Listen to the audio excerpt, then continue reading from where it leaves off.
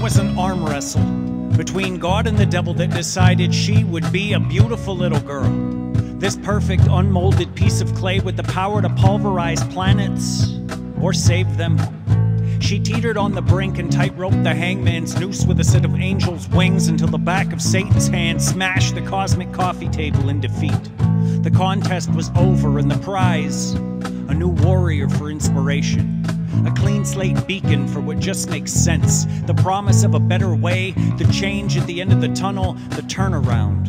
The real revolution for a planet that until now had only been twisted. She sees what's wrong already. She's so young and the weight of this world so heavy, but she's perfect proof the wait is over.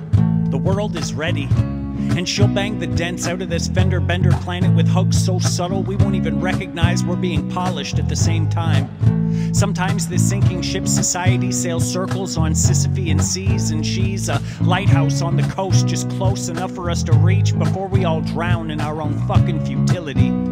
High hopes don't begin to describe what I have for this creature. This is Eiffel, Empire State, Everest, freestanding sea, and towering high hopes for this creature. So let's hoist the mains and set sail for better. Let's shake the dust of ages off our rusty ways, embrace the change, and run this maze together. Untethered, she'll fly.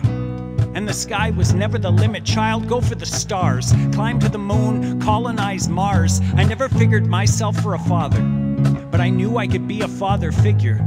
I just wanted her to learn a few things from me, but she was more of a teacher than I could ever be. She makes me want to be better, and what could be better than a better me? Maybe a better we. So, humanity, let's follow the star child beyond the monolith. Avoid simply shining. Let's teach her to explode. With wide eyes and strange love, we can turn back the hands of the clockwork and knock a few coup bricks out of this wall. Let's Spartacus this mother and take some responsibility for tomorrow. Nature wasn't an option for me. Nurture seemed an inevitability, and humanity, don't worry, I got this. I'll help Autumn guard your gift in Mogwai boxes until we're ready to unleash the gremlins of hope.